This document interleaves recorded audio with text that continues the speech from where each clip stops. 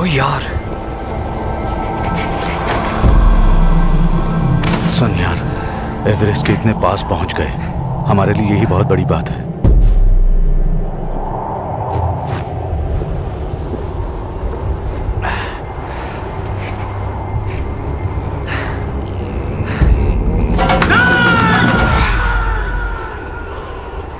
उस दोपहर मैंने अपने दोस्त को आखिरी बार देखा।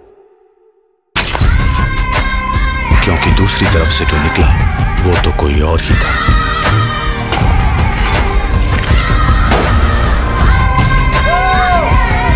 माउंटेन ड्यू नाम बनते हैं रिस्क से।